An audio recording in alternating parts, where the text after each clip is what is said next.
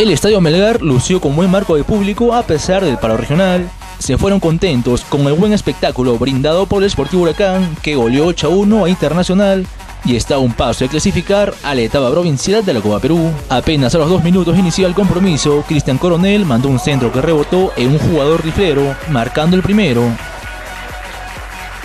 Huracán seguía intentando, pero un error defensivo hizo que Diego Rodríguez pusiera el empate transitorio a los 11 minutos. Luego de un córner, Ramiro Benavente tuvo un duro choque con la defensa, lo cual le produjo un corte en la cabeza, siendo reemplazado por Yuriño Vegaso. A los 35 minutos, luego de un tiro libre cobrado por el Perico Martínez, que pegó en el travesaño, Davidson Cordero solo lo empujó al borde del área y ponía el 2 a 1. Antes de finalizar la primera etapa, nuevamente aparecería Cordero para poner de cabeza el 3 a 1 ante una mala salida del arquero y así se fueron al descanso. En la segunda parte se vendría una katana de parte de los verdolagas.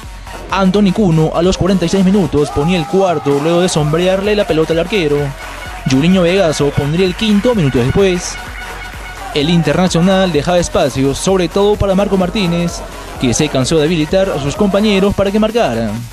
Gracias a ello, Martín Meléndez puso el sexto al minuto 58, luego de un buen centro por derecha y a los 75 minutos, luego de colgar al arquero. Para sellar la goleada, Jean-Pierre Araníbar de un potente remate ponía el 8-1 final, con lo cual Huracán suma 8 puntos y sigue puntero invicto. Es un triunfo que nos permite seguir al tope de la tabla.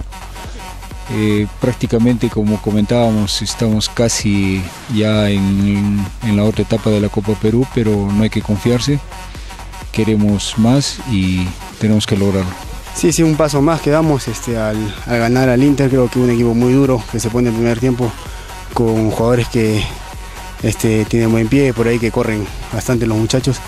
Y nada, creo que en la tranquilidad del segundo tiempo pudimos este, hablar, conversar que, estamos fallando en la hora de definir, de por ejemplo este, de estar atrás, de salir, este, de sacar la bola, de no salir tanto jugando, que por ahí nos complican porque tiene gente que, aprieta y todo. Pero bueno, tranquilos, este, sabemos que tenemos un resultado muy abultado hoy día, pero todos los partidos son muy diferentes, ¿no? Creo que este resultado nos llena mucho de confianza, de poder, de poder seguir. Muy gratificante para todas las personas que vienen a vernos y que nos vienen alentando. ¿no? Martín Meléndez y Davidson Cordero agradecieron a la hinchada y dedicaron el triunfo a su familia. Este, a mi familia, a mi viejita, a todas las personas que vienen apoyándonos incondicionalmente. De las oportunidades que estuve acá de pertenecer al Club Huracán, creo que siempre ha sido el apoyo así. Es por eso que yo también sigo este año acá. Ah, primero a, a mi tía que, falleció ayer, creo que desde arriba me, está protegiendo, me está guiando y para, sobre todo para, mi madre, para mi hija y para la afición de, de Huracán que en las malas y en las buenas siempre viene a apoyarnos. ¿no?